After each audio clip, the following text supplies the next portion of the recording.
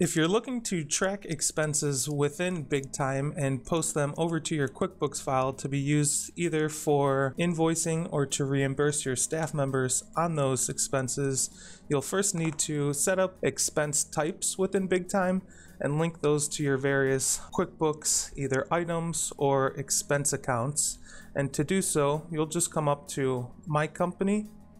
Field Values,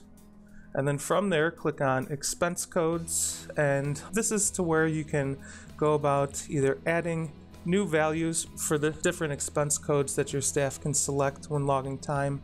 Um, and when you add these new values all you need to enter are the names of the expense codes give it a unique identifier link it to that QuickBook item or expense account and hit save now that we have added this new code, um, you'll be able to see it under your expense code list and the chain link on the right hand side just lets you know that now this code is connected to your QuickBooks file.